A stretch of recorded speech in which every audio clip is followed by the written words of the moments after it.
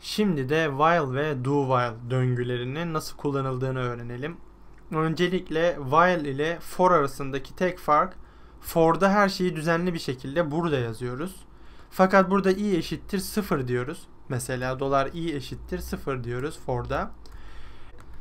Diyelim ki bir değişken var ve bu zaten yukarıda farklı bir yerde olan bir değişken olsun. Yani burada tanımlamak zorunda değiliz while'da değişkeni.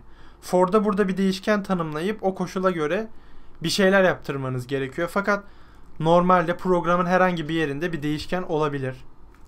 Şu şekilde. Bu değişkenle işlem yaptırmak isterseniz for değil de while ile yaptırmanız gerekiyor. While. Diyorsunuz ki eğer i dolar i mesela ondan küçükse parantez süslü parantez içindeki şeyleri yap. Şimdi for'da ne vardı? Bir şeyi tanımlıyorduk. i eşittir 0 diyorduk. Virgül. Bir şey eğer ondan küçükse veya büyükse burada bir şartımızı koşuyorduk. Virgül diyorduk. Yapacağı şey. Burada yapacağı şeyi while'in içinde verebiliriz. Mesela dolar i'yi 1 arttır gibi. Echo dolar i mesela. Şimdi Firefox'u açtım, yeniledim. Bakın. Şimdi şöyle yapayım. Buraya bir br koyayım. Virgül br tırnak içine alıyorum. Gördüğünüz gibi sıfırdan 9'a kadar. Eğer bunu ben 20 yaparsam veya 200 yaparsam bakın böyle 199'a kadar gidiyor. Küçük eşit derse aynı for gibi. For'dan ne farkı var? i'yi dışarıda tanımlıyoruz. Yapması gereken şeyi içeride yapabiliyoruz. İstesek yapmayız. O zaman sonsuza kadar gider. Ama yapmasak da yapmayabiliriz. Gördüğünüz gibi while'in kullanımı bu şekilde. Değişkeni for'un içinde tanımlamak zorundasınız. Burada dışarıda bir değişkeni alıp işleyebiliyorsunuz while'da. Böyle güzel bir yanı var while'ın. Şimdi do while var bir de. Yapması gereken şeyi kesiyorum, do'nun içine alıyorum. Bu kadar. Yani while'da eğer şart sağlanırsa yapıyor. Tabi şurada bir hata oldu. Şu şekilde. While'ın bu şart sağlanırsa yapıyor. Bunda şart sağlanmasa bile en az bir kere kesin yapıyor bunu. Mesela i eşittir. Bakın burada sıfır olsun. Eğer mesela i 200'e eşitse i'yi loklasın. Buraya gelecek. Bir kere i'yi loklayacak. i 200'e eşit mi? Hayır. Bir daha çalışmayacak. Ama bir kere şart sağlansa da sağlanmasa da bu i'yi print edecek bir kere illaki. Mesela yeniliyorum bakın.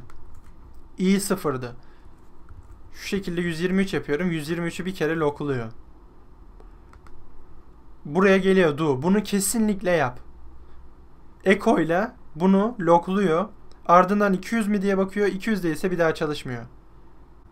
125 yapalım mesela bunu. 125. Eğer 125'ten küçükse i'yi de 1 arttırması gerekiyor burada. Yoksa sonsuz döngüye girer. Dolar i'yi 1 arttır. Şimdi ne yapacak? i 123. Öncelikle 123'ü bir kere loklayacak ve 124 yapacak burada. Ama burada bir bakacak. 123 125'ten küçük mü? Evet küçük. Tekrar gelecek Doğu'ya. 124'ü loklayacak. 125 olacak. 124 küçük mü? Bir daha gelecek. 125'te kalacak. Yani 123 ve 124 yazacak arkadaşlar. Bakın 123 ve 124. Gördüğünüz gibi kullanımı bu kadar basit. Do ve while döngülerinin. Şimdi de break kavramına bir göz atalım. Break Türkçesi kırmak demek. While'ın içinde de kullanabiliriz. Fakat en iyisi for'un içinde veya for için içinde kullanmak. Şu şekilde geri gelerek for örneğime geri geliyorum. For veya for each ile ilgili bir örneğe geri geleyim. Boşuna yazmayayım. Şimdi geldi. Yeniliyorum. Bakın bu örneğe geri geldim. Şimdi şunu yapabilirim. If'i siliyorum. Echo dolar x diyelim bir. Önce günleri bir BR ile birlikte loklayalım. Şimdi cuma, cumartesi, pazar, salıya geldiği zaman break yapalım. Yani eğer günlerden salı olduysa burada sonra dönmesin. Yani ben çarşamba, perşembe ve cumayı görmek istemiyorum. Bu sonsuza kadar da gidiyor olsa, burada 4 milyon tane daha sonuç bile olsa salıyı gördüğü anda bunu bir durdurabiliriz artık diyelim ki. Böyle bir şeye ihtiyacımız olabilir. Bunu şu şekilde yapabiliriz. Eğer parantez açıp kapatıyorum.